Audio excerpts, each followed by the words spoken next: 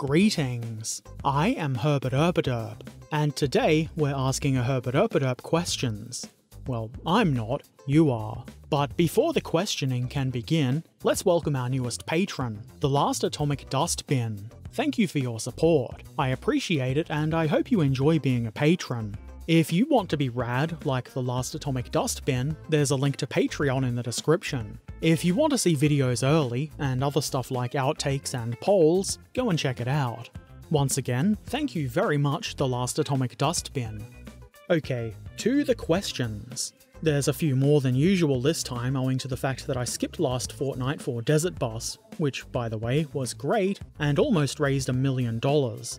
Anyway, like I said, questions. First, Scremburb said, What is your opinion on parakeets?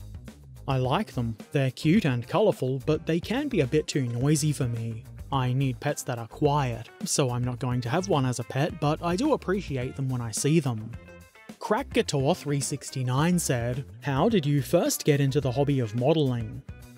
I had a very basic train setup as a kid, and I remember getting model kits and putting them on that. So I guess I either asked for them, or somebody thought I might enjoy them and bought them for me. Unfortunately, it's not a very exciting story. Trekan Beluvic said, Are you afraid of the sea? Are you getting seasick? I rather like the sea and the water, so I'm not scared of it, though thinking about getting stuck far out at sea is kinda scary. I'm sure everybody could agree with that. I've never really done any long distance ocean voyaging though, so I guess it's just a concept that doesn't sound fun, not a real thing I have to worry about. In general, though, I don't fear the sea and don't get seasick. Graf Pudding said, How many birthdays are there in the world? 7 billion or 365? Hmm, I guess that really depends, doesn't it? The 7 billion number is constantly increasing, and not all years have 365 days. And then I guess when you take the day and the year a person was born, there's a lot more than 365. So I guess neither is really correct. That's not really in the spirit of the question, though, is it? I think I'm more inclined to say 7 billion. Each individual has their own birthday, but then what of all the people who have had birthdays but died? That number is going to be a lot higher. These are the important questions. Actually, I do quite like this kind of question. It was something odd and interesting to think about. Muse said, Would you rather live 20 years in the future or 20 years in the past? The future for sure. I've already experienced 20 years ago. I was just about to say the 90s weren't all that fun for me, but 20 years ago was 2000. I feel old. Still, I was around 20 years ago and I've seen it, so I think it would be much cooler to see how different the world is in 20 years. It's so different to what it was like 20 years ago, and I think it would probably be quite a shock to just skip ahead in time. I do hope the future isn't quite as awful and hellish as I sometimes think it's going to be. It would be nice to know. Axe Quirix said, What's the best bad tank? i.e., one that you would agree is bad, but still have a soft spot for, slash, feel it was an important design for reasons other than effectiveness. I don't think I really have an answer for this, mostly because I can't think of any tanks that are objectively bad off the top of my head. I know there are plenty that people whine about because they've played them in World of Tanks, but that's different. I don't really care about a tank's effectiveness when it comes to how much I like them, so I don't know. I mean, there's tanks like the AC-1 Sentinel, but I don't think it was actually a bad design, it just never saw combat so we can't really know. But it's cool, and important being the only tank designed by Australia. I guess there's also the Valiant, which is largely agreed to be quite bad, but I think it looks cool as well. Martin Gotham said, How did you gain an awesome community that is worldwide, as I'm having no luck? I think if I knew the answer to that, I would probably be a rich man, and I think maybe you are looking at it the wrong way. It seems kind of cliche to say, but I don't think it's something that you can actively do. It's not something that you just go out and get, but rather something that grows and builds with time.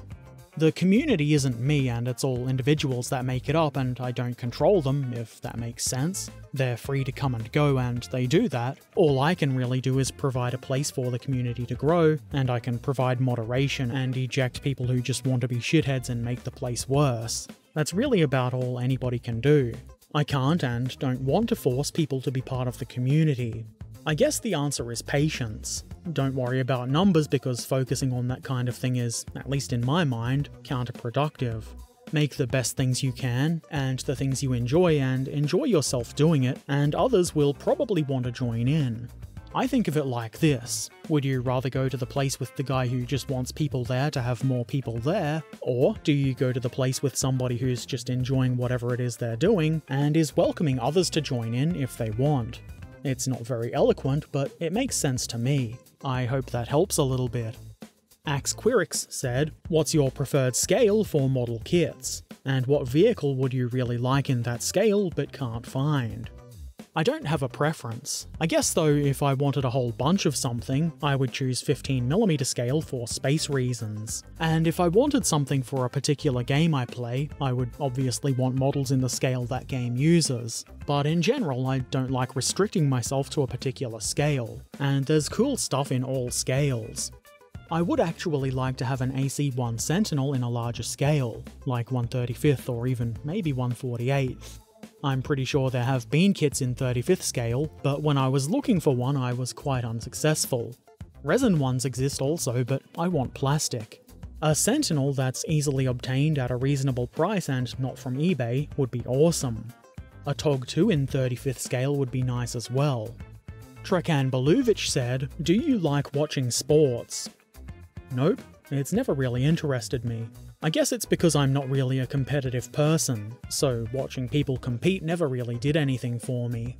I would actually rather play a sport than watch one, and I'm not very interested in doing that either. Martin Gotham said, How is your family dealing with COVID 19? Well, I live in Australia, so COVID isn't really wild and out of control here. I would say that it's currently a pretty low concern for my family. That said, all it takes is one person being a moron, and it all just flares back up again, so that could all change rather quickly. Hopefully it doesn't though. Loki said, Have you ever gotten silly questions? Nope, it's never happened. And I've certainly never given silly answers. Never. Musei said, This may be a blasphemous question, but have you ever had a fit issue with a Tamiya kit? I mean, unless you're crazy enough to actually worship a model company, it's not really blasphemy. Though blasphemy is pretty awesome.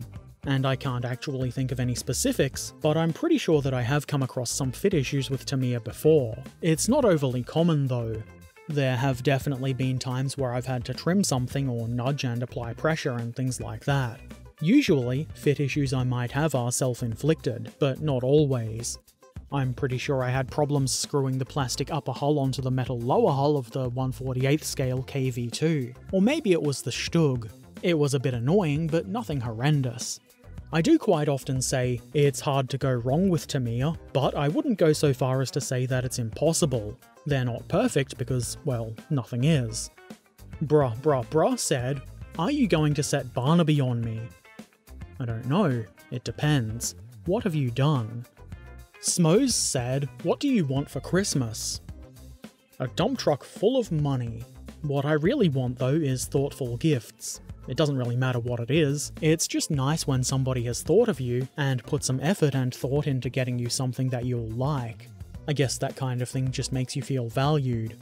Trekan Beluvic said, How warm is it in Brisbane now, in the summertime? Is it windy?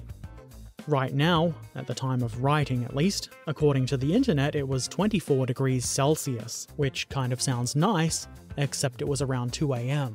It was also 86% humidity, and the wind was at 6 kilometers an hour.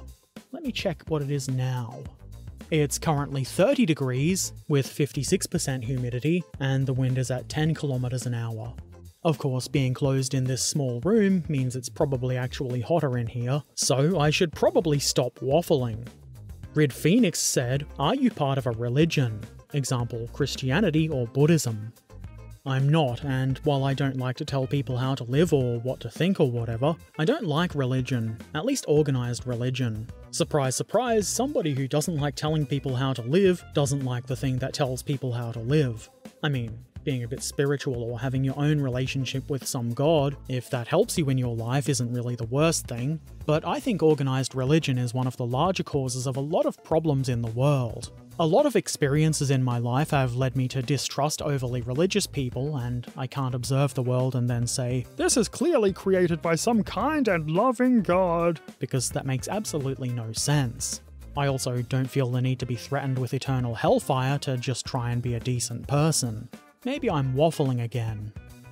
The last atomic dustbin said, Have you ever got into any full blown arguments with rivet counters? Also, would you ever consider building a Soviet T 28 or T 35 in 135th scale? I can't recall ever having gotten into any serious arguments with a rivet counter. Anything like that is usually pretty one sided because, well, I just don't care enough to get into that sort of argument, really. I find that kind of thing draining, and I could be doing so many better things with my time, so I'm really unlikely to engage. I'm sure I thought differently when I was an angry young punk, but I just don't have the energy for getting into arguments over petty things like that. I'd prefer to save my energy for things that matter, and to be honest, that makes life more enjoyable. At least for me. I mean, I do enjoy seeing really accurate models where somebody clearly cares about the subject. That's awesome. I'm just not going to argue with somebody over some tiny detail, or even a large one. I just don't care that much. Also, I would certainly be interested in both of the tanks you mentioned in 135th scale. They're both awesome and interesting vehicles, though my stash is getting out of hand, so I'm not going to rush out and try to find those kits. Hobbit Feetman said, Would you consider doing a video on scratch building? I can't actually think of anything that I would like to or feel the need to scratch build, but if I did, I would certainly make a video about it. I like scratch building and all of the different kinds of materials that you can use to make something, it's quite interesting. Though I don't feel like making a video about it without first having a reason to scratch build something, if that makes sense. Axquirix said, What do you usually do with the crew figures that come with the vehicles that you build but don't crew? If nothing yet, do you have any plans like a diorama or the like? Normally they just go into the bits box, and my bits box is full of Ziploc bags that I put the parts from each kit into. So if I ever feel a need for them, they shouldn't be too hard to find, though I don't have any plans for them. Keck Decker? That name is hard to read. They said, when is the next episode of Ask a Herbert Derp? Next fortnight, or two weeks for people who don't know what a fortnight is. Unless of course I decide not to do it for whatever reason. Generally, these videos are every second week, Wednesdays for patrons and Thursdays for everybody else. Martin Gotham said, Can we see what Herbert gets for Christmas? Or a Christmas themed video? I don't think what I get for Christmas would make a very exciting video, really. I'm not likely to be getting a whole lot of stuff, and from my family, it's probably just going to be things like gift cards and socks and jerky, which doesn't sound exciting, but I do love me some jerky, and wearing socks is pretty good too. Christmas isn't really a big thing for me, not like it was when I was a kid. That said, I do have plans for a Christmas related video. I've spoken about it on stream a few times, and I've already built the model involved, so some people already know what it is, but I do kind of want it to be a surprise to some people as well. I think it's going to be funny, and I really need to get my ass into gear and work on it now. Digital Rocket said, What was the biggest surprise you've experienced as a YouTuber? I don't know that I've ever experienced anything really surprising, at least not in relation to YouTube. I've been surprised in general before, but you know what I mean. I guess maybe seeing how unhinged and awful some people are, and feel like it's fine to be abusive because somebody said something about bits of plastic or paint that they don't agree with. I mean, that doesn't surprise me anymore, but it used to. On a more positive note, it's also kind of surprising how many people watch and enjoy what I do, and are positive and supporting. It's definitely more important to remember those people. A hearty thumbs up to you all. I do wish I had a better answer though. Like, you know, finding out that everybody who uploads videos on YouTube gets a new car. That would be a surprise. Head of Secret Science Boys said, So, do you like trains? Heck yeah, I like trains. I should play some more train games on stream. Crack Guitar said, If you became president of whichever country you want, what would you do first? I think I would question how stupid the country is to vote for me for president, and then I guess try to think of a way to fix it. Otherwise, I don't really know. Maybe try to institute some sort of universal healthcare thing if the country didn't already have it? I don't really know. I don't want to be president or prime minister or anything like that. It sounds horrible. In the YouTube comment section of the previous Ask a Herbert Derp, Yantima said, if you could live in a KV2 turret, or multiple, would you? I'm pretty sure this has already been asked, probably more than once, but I don't think I would. I don't think they have enough interior space to be comfortable, even if there was a whole bunch of them, and because I live in Australia, it would probably get disgustingly hot. I mean, it already is disgustingly hot, but inside a KV2 turret, I think I would die. However, it would be rather cool to mount one onto my house. EP Art said, I wonder why it has taken them so long to make a plastic model of the Gerald R. Ford class aircraft carrier. Could it be because it looks so much like the Nimitz class? I have no idea. I would assume that they are different enough to warrant its own model. I mean, if it was just a different Nimitz class ship, making a totally different model wouldn't make any sense, but it's a totally different ship, and I think that warrants its own kit. As I understand it, only the first ship of the class is in service and it is pretty new so maybe nobody has had much of a chance to make a model of it. Or maybe there could be some sort of military secrets thing and they can't make a model. Or maybe they're not able to get proper measurements and information. It seems kind of silly, but I don't think it's impossible. I don't really keep abreast of ship modelling news, especially with modern ships, so if there was a model of the Gerald R. Ford I probably wouldn't even know. I bet there would be a lot of people who are interested in it though, so hopefully somebody releases one soon. Speaking of models, as we occasionally do around here, let's have a look at some of the models that have been shared over on the Discord community. Trekan Beluvic has shared this dirty looking elephant. It is quite dirty, but I wouldn't say that it's too dirty. I think it looks to be just about the right amount of dirtiness. Very well done. The model is in 148th scale by Tamiya, which I think is a little bit bigger than the models Trekan usually does, unless I'm just imagining things. At any rate, it's good to branch out into different scales from time to time. Anyway, it's very good work. And here's some more from Trekan. These Tiger and Tiger based vehicles. A Tiger 1, Tiger 2, Jagdtiger, and Ferdinand. These are all Zvezda 15mm scale kits except for the Tiger 1, which is by Battlefront, but is also, obviously, in 15mm scale. I quite like these, they're very nicely painted and it looks like Bevo approves as well, which can only be a good sign. Ratto shared this chaplain for his US army, which he has just in case there are devils to repel. Maybe a Bob Ross should be added to beat the devil out of the devils. Stop trying to be funny, Herbert! No. This is a very nicely done conversion from a Perry model in 28mm scale. Ratto also shared this picture, in which this figure really seems to need to go, it got a sensible chuckle out of me because needing to poop is funny. Huel shared a Matilda. As you can probably tell from the box behind it, this is the Tamiya 135th scale kit, and a very good kit it is. Huel's one has a bit less stowage on it than mine, but the paint job is finished, so I think they win. Not that it's a competition, of course. Very well done. Keck Tank shared this awesome looking 135th scale Land Rover. At this point the model is still a work in progress, but I think it's looking really good. I quite like the mesh on the windows. Very nice. The model is a kit bash based on the kit from Hobby Boss, and here we can see it before painting, which shows off the variety of different bits and pieces used. I do like seeing this kind of thing, and it's very well done here. Alexander the Meh has made this minefield sign. I really like this. It's very well done, and it's a good way to depict mines on the gaming table, assuming that your game uses mines. And if it doesn't, it makes good scenery as well.